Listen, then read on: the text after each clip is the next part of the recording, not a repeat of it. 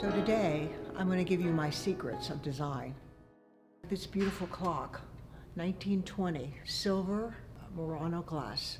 But this would be fantastic with your modern style tables and how to build a beautiful home by layering it with your accessories and art.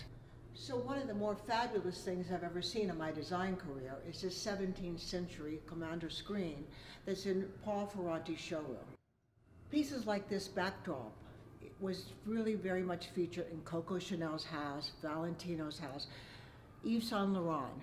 This was also in Jack Warner's house, which was makes it even more special. The scale and the background is something that you could incorporate in your vision, like maybe posters that you could put all together that make it an interesting backdrop. So one of the ideas that's cool is this Italian lamp from 1960s. This is how you can combine modernism with classical elements in your home.